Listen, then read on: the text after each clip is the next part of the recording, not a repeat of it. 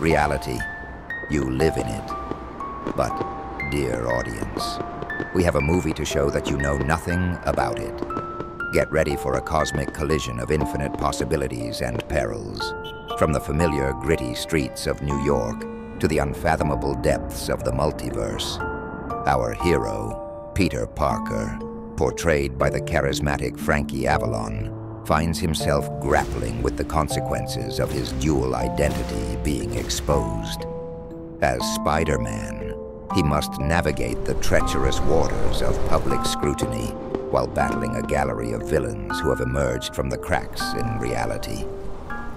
Behold, the mystifying Vincent Price as Doctor Strange, the master of the mystic arts, whose wisdom guides our hero through realms beyond imagination. Witness the formidable Ernest Borgnine as Dr. Octavius, a brilliant mind turned to darkness, wielding mechanical arms that could crush steel. Clifton Webb, suave and sophisticated, becomes the Green Goblin, a villain whose cunning is matched only by his thirst for power.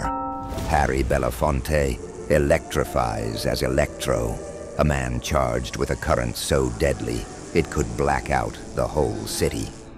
Kirk Douglas, the rugged and relentless, transforms into Dr. Curtis Connors, a scientist with a monstrous secret.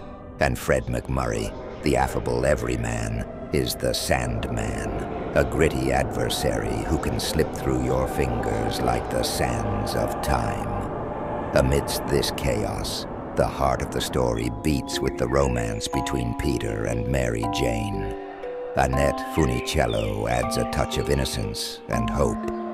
Their love story offers a respite from the turmoil, grounding our hero and reminding him what he's fighting for. In this tale, Spider-Man must confront the question of what it means to be a hero in a world where the line between right and wrong is as blurred as the boundaries between dimensions.